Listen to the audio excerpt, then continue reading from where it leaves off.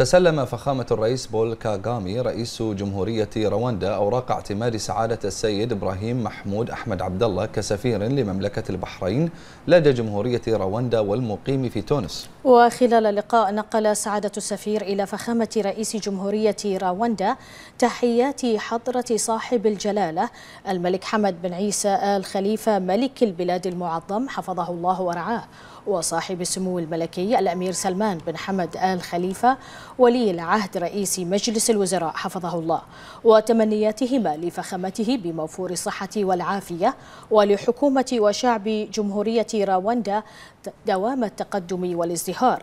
وأعرب فخامة رئيس رواندا عن فائق التحيات وأطيب التمنيات لحضرة صاحب الجلالة ملك البلاد المعظم حفظه الله ورعاه وصاحب السمو الملكي ولي العهد رئيس مجلس الوزراء حفظه الله. مؤكدا الحرص على زيادة تعزيز التعاون بين البلدين الصديقين متمنيا لسعادة السفير كل التوفيق والنجاح في أداء مهام عمله الدبلوماسي.